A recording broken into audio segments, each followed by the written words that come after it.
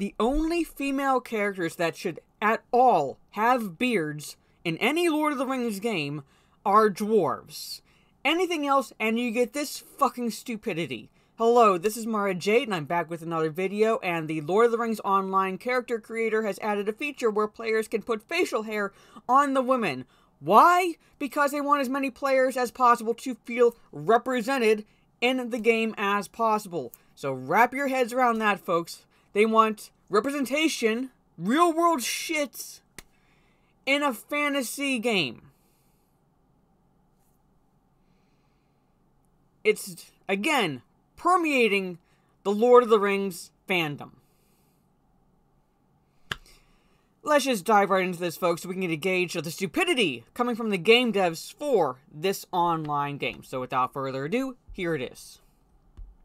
Standing Stone Games add more diverse character creation options to The Lord of the Rings Online, including women with beards. Again, the only female characters that should have facial hair at all are dwarves. Why? Because the lore, actual lore surrounding the dwarven race is that you cannot tell the difference between the male and females. Why? Because females have facial hair, like the males. Lore accurate. You could add it to the fucking game and it would be lore accurate. The update's 35.1 release notes discuss the events and changes coming with the game's 16th anniversary and the new Gwathronnost, the Witch King Citadel raid. Among these changes was the section detailing how The Lord of the Rings Online, quote, is celebrating the uniqueness of every player.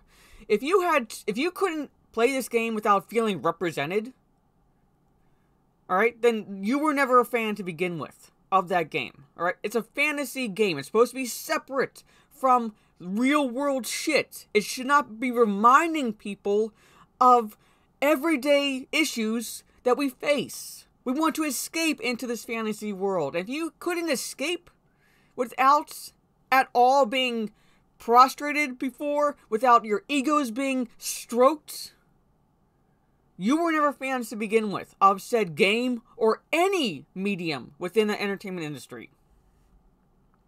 Our latest update celebrates individuality with additional character customization options for the race of men that let players express themselves in new ways, developer Standing Stone Games boasts. We want to make as many players feel represented in the game as possible. Gotta love the fucking buzzwords now. If you, if, again, if you cannot play this this game or any game for that matter without feeling represented, all right, then you are that fucking shallow. Alright? I've played plenty of games where there's no character at all that looks like me. But guess what? I don't fucking care because I'm not playing the game to see myself in the game. I'm playing the game because I like the game. I like the story. I like the characters and so forth. I've never had to feel represented. One of my favorite superheroes of all time is Batman, and last I fucking checked, I'm not a straight white male billionaire.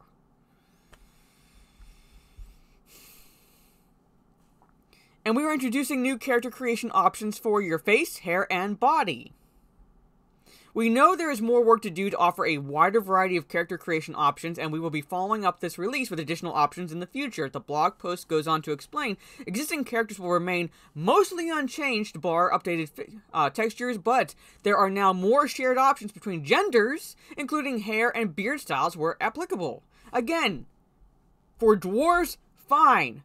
Everything else, fucking stupidity. I'm glad I never got into this shit. Jesus Christ. J.R. Tolkien and Christopher Tolkien, I might add, are rolling in their respective graves. In addition, body proportion range has been increased, and the new options can be selected via the barber for existing characters. YouTuber Aubrey the Weird One discussed the changes to character creation, noting that characters looked better and lighting had improved. Players can now choose their facial hair and stubble for even female characters. Men have one additional facial hair option than women. I'm guessing they have like one more. You know, editors, do your fucking jobs. The character customizer allows players to adjust their character's girth via the body type slider and introduces more hairstyles for both men and women. Players can also mold the shape of their character's head and face via various sliders for the crown, nose, jaw, ears, lips, cheeks, and more, which I have no problem with. That's pretty much par for the course. Why they actually had to add facial hair for women, God knows why. I know that's a rhetorical statement in question and shit like that because I get I know deep down, I know deep down why. But again, again, pandering doesn't work. All right, I've lived by this philosophy and I've actually said this to one of my Iraqi counterparts when I was in Iraq and I was basically monitoring and helping guide along this Iraqi agency be, uh, back in 2011. I said, when you try to please everyone, you end up pleasing no one. All right? You're not going to please everyone. There's always going to be some demographic. Pick the pick whatever demographic. There's always going to be some demographic that's not going to like what you do. Right? You can't please everyone. But you have assholes running this company and those in the entertainment industry that try to prostrate themselves before these screeching howler monkeys on Twitter and appease every little fucking demand these dickheads have. But they never they're never happy. So don't do it in the fucking first place. Just add features like this. Add features like this where you can change the crown, the nose, and so forth you know, to basically make your characters a little bit more unique. That's all you had to fucking do. Some of those who had showcased a new character customization on YouTube, such as Ponton Finberry, uh, Louis Seven, and Gingin, I'm not sure how to pronounce that, saw a large number of dislikes on their videos for those who utilize plugins to view dislikes, despite them not being the game's developer. There may be a bias, as those displeased over the changes may have gone looking for videos showcasing it with no video from official channels. So, well, sucks to be the ones reporting on that, I guess.